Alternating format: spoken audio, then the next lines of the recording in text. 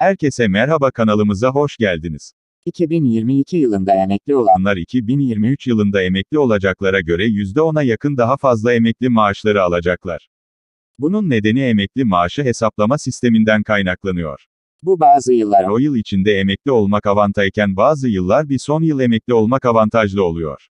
emekli maaş farkının nedeni ne? 2022 ve 2023 yılı için emekli Maaş hesaplama şekilleri değişiyor. Tarkan Zengin bu konuyla ilgili de şu bilgileri verdi. 2022 yılında emekli olan Onlar 2022'nin Ocak Ocak-Temmuz zammını alıyorlar. bir de 2023 yılının Ocak zammını alıyorlar.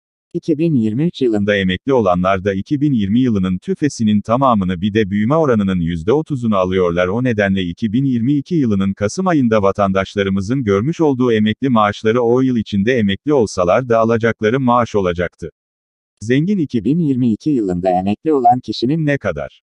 Sorusuna ise şöyle cevap verdi. Mesela 2022'nin Ocak Ocak ayına geldiğimizde Ocak zammı yapılmamış bir vatandaşımız emekli maaşını diyelim ki sistemde 10 bin lira olarak görüyordu. 2022 yılına geldiğimizde Ocak zammı ile maaşı %25,47'lik zam ile birlikte 12.547 liraya çıkar.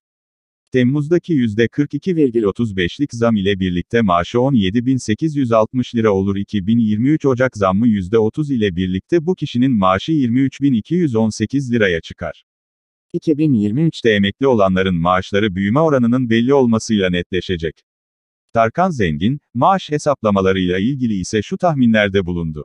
Yıllık tüfe oranında zam alacak 10 bin lira maaşı 16.427 liraya çıkacak. Yorumlar sizin sonraki videolarda görüşmek dileğiyle hoşçakalın.